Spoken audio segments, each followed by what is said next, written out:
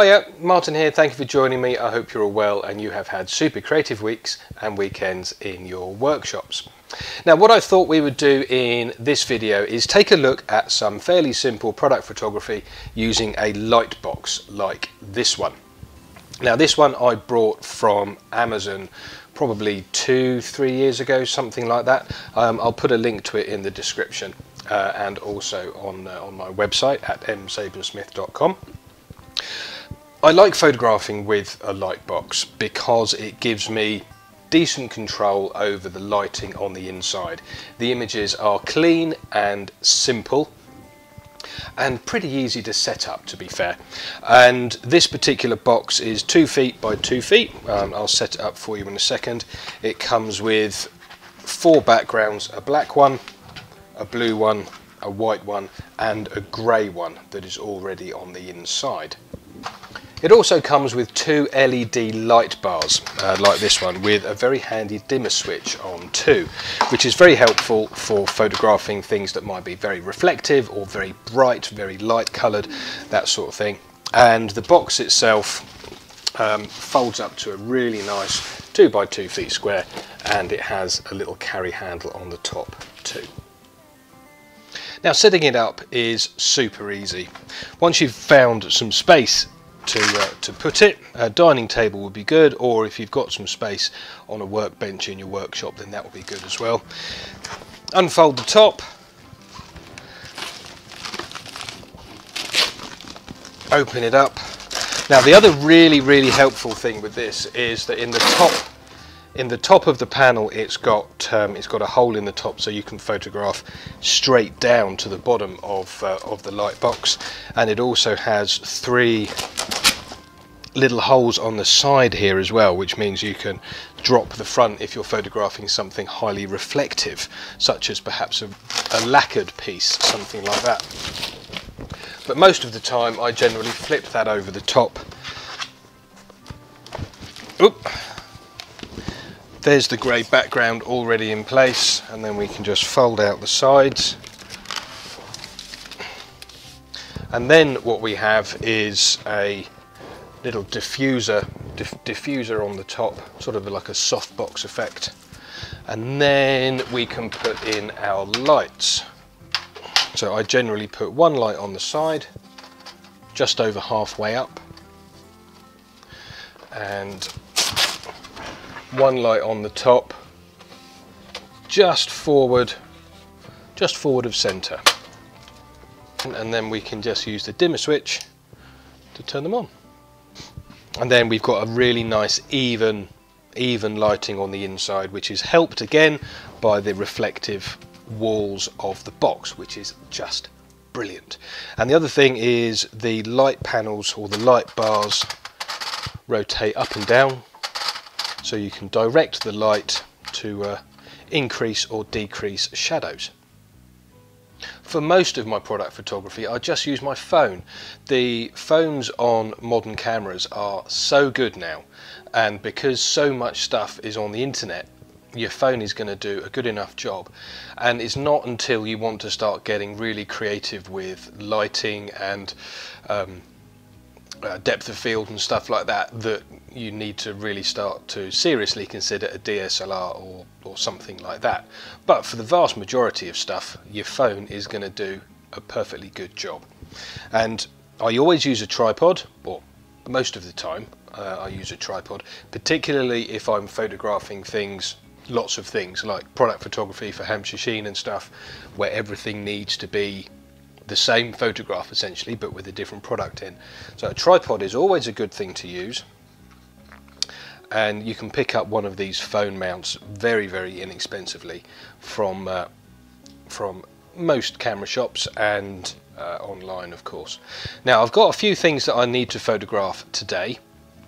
The first bit is going to be this beaded bowl um, that was made by Les Thorn, uh, my business partner, and if I just place that on the inside of the on the inside of the box we can see that it looks really nice. I do like a nice plain background that immediately just draws the eye to the product being photographed or the product in the picture.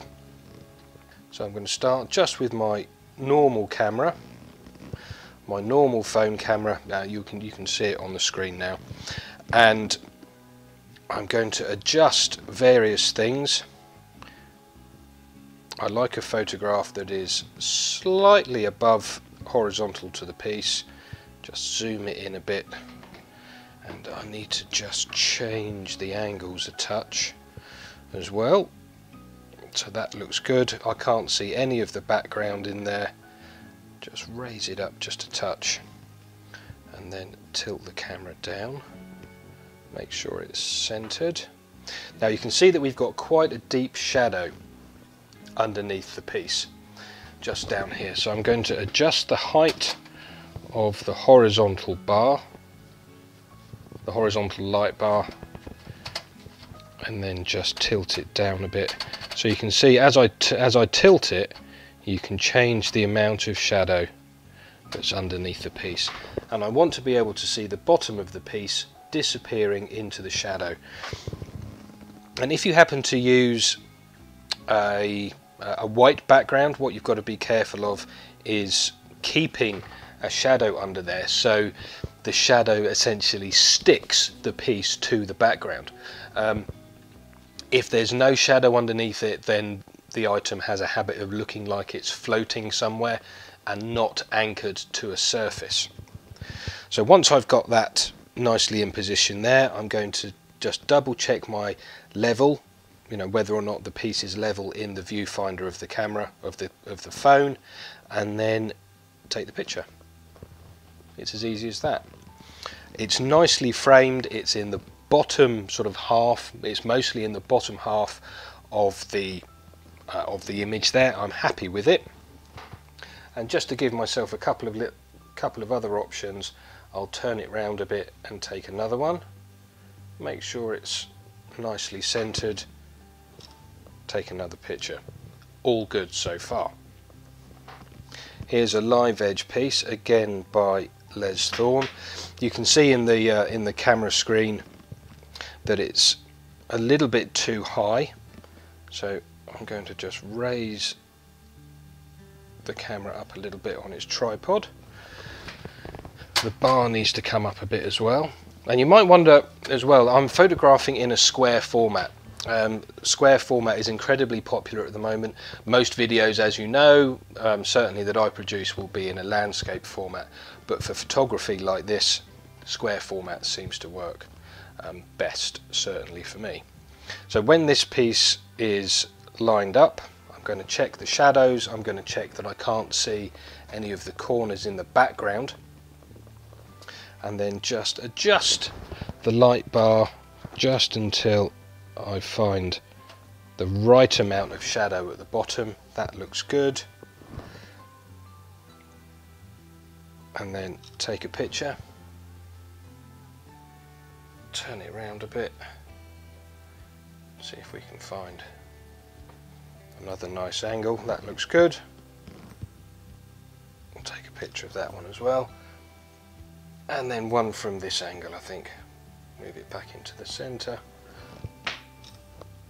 that looks good too so we've done two fairly tall objects now but what about an object that's fairly flat like this coloured bowl of mine. And this one also has quite an interesting feature on it. So that's quite low, as you can see in the viewfinder. So I'm going to drop the camera nice and low. Just adjust adjust the position of the camera a little bit as well and the levels. And I can see as well and you can see that we've got a very deep shadow under there. So I want to pull the light bar all the way down or quite a long way down and throw as much light under there as I can. And I might even see if I can drop that light bar right down to the bottom oh stick it on there. Okay now that's too much. And I can also see the bar. So if I just raise the camera up a little bit. That's really that's really highlighting that under there. So I'm just going to change that a little bit tilt it down. There we go. The bar's now tilted down so it's just working off refle reflected light Uh, but it is kicking enough light underneath there to allow me to see the bottom of the bowl. So I'm going to do one I'm going to take one picture like that and then tilt it down a bit to give me a little less light under there and snap that one too. And we've still got a nice exposure in the top of the bowl and a good exposure on the side of the bowl and we can also see that we've got a nice difference in the coloration between the top or the inside of the bowl and the top of the rim and the color there too that, that is a good product photograph. Very nice. Now let's look at something really reflective. This this little sort of um, miniature vase, as it were, that I that I that I made a little while ago, has got like 15 coats of lacquer on it. So it's very, very, very reflective, and you can see in the screen here that we've got uh, lots of dots that are the reflections of the, uh, the light bar. Sometimes that's going to be unavoidable. It's not absolutely ideal, but if we pull that up to the top, pull that, pull that up a bit and then tilt it down, and we can also flip over.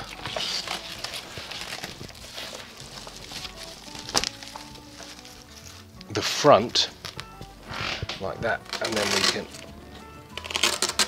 we can open that up. But if you want to get a little bit more of the reflection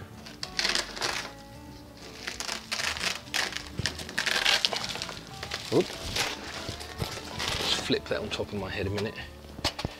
We can just drop those bars down a little bit.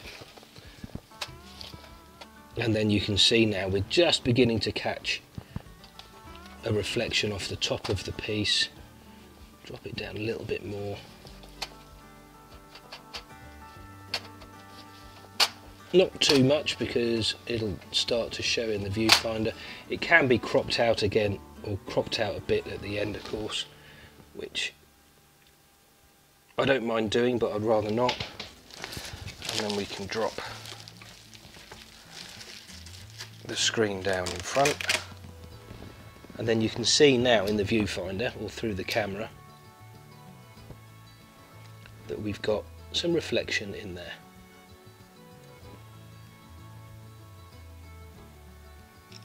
And then we'll just take that picture there too. And that's the very basics of using a light box for uh, product photography. Um, I very rarely use the, uh, the drop down flap on the front um, like that. Um, but it is very very handy to have it. And as I said there is a link in the description if you are interested in a light box like this one. Super easy to use. Not particularly expensive. It's about 70 80 pounds I suppose which I don't think is too much of an investment if you are photographing for thing for websites like Etsy or Folksy or one of the other uh, websites or even your own website or even Facebook or Instagram you know these are a really useful uh, thing to have and um, when the pictures come up on the screen you'll be able to see that the items are you know, it, your eye is drawn to the item automatically. You know, so there, it's a super way to really highlight and spotlight your wood-turned products. Now, of course, there are other ways that you can photograph your items. You could go for uh, a more lifestyle type of picture, you know, where a bowl is on a sideboard or on a table. But that generally generally requires some external lighting, uh, maybe some soft boxes over some spotlights, that kind of thing. And it can be quite tricky to get good lifestyle type photos of wood turn products because most of them that you see in magazines and stuff are actually photographed in a studio environment and everything is set up specifically for that one product photo. But you can, of course, do it at home if um, if, if you've got the space, if you've got the lights, and if, if of course you've got the time and you don't mind rearranging furniture because they are very, very, very staged. So for 99% of uh, the product photography, this softbox, or this light box, sorry, is the way forward for me. And then when you're done with the box, folding it back up is just easy peasy, particularly if like me you leave the background in place. I just unclip the softbox element, lift the lid up, fold in the two sides, drop it down and fold it up. It's as easy as that. And then it can just very quickly and easily drop down into its box which of course I keep uh, just for ease of um, just for ease of storage. And that's it. Um, I haven't covered anything to do with white balance or anything like that because particularly with my Samsung phone, the white balance, the automatic white balance set by the phone for this softbox is just bang on. So there we go, a very, very quick and simple look at the use of a light box for product photography. I hope you found it useful. Please do like, share and subscribe and I'll look forward to seeing you again in the next video, which hopefully will include some turning. Thanks very much. Bye for now.